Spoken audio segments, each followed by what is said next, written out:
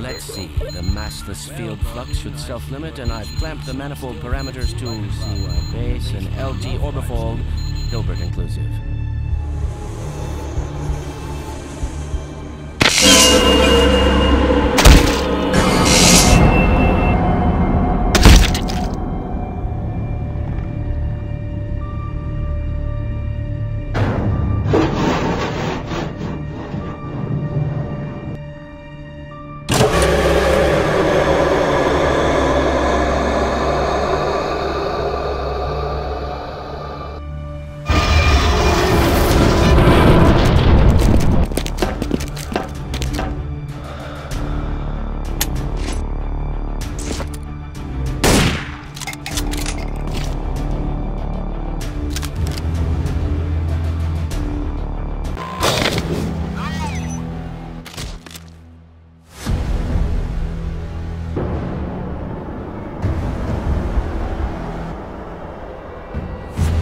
wish I knew. I'm encountering unexpected interference.